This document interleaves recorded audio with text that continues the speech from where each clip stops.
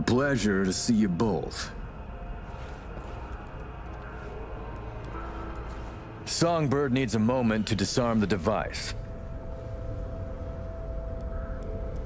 Which gives us a chance to chat.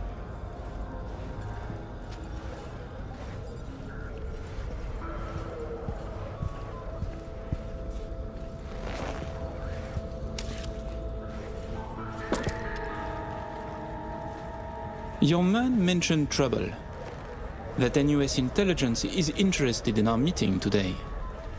Trouble is an exaggeration.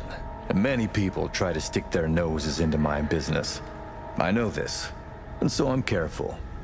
Were I you, I would say no different. Think I'm lying? Of course you are. Excuse me? The only question that matters is whether your lie brings any harm. If our arrangement is truly safe, why should I care? I assure you it is. you know, I find your pragmatism refreshing. Changing the subject. Did you enjoy yourselves at the Black Sapphire? My people tell me the games went high stakes. You two left richer and happier, I hope. It was unfortunate how unluckily the night ended. How unlucky you were to double your winnings. Interesting way to look at it. Apologies.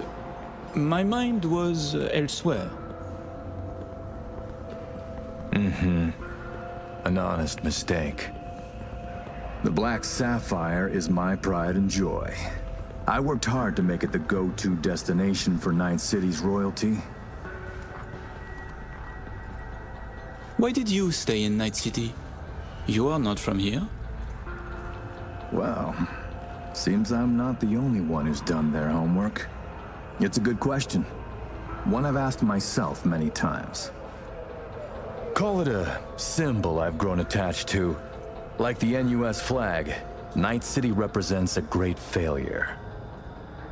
Of yours? Of principles. Say, it's been a while since you were last in Night City, hasn't it? Not since Cynosure. Quite right, but we almost flew here some time ago. Emmerich had other business in Night City. My brother is obsessed with cars. he collects them. I say to him how wonderfully pretentious he is. Interesting. And what rare gem brought you halfway around the world?